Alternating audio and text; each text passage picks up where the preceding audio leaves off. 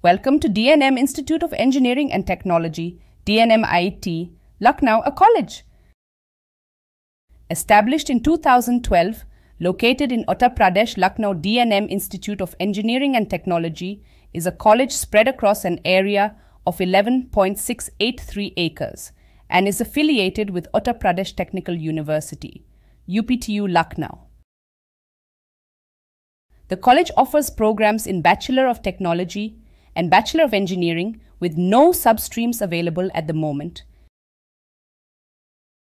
The college provides various facilities including computer labs, sports facilities, gym, medical hospital, cafeteria, laboratory, library, auditorium and hostel.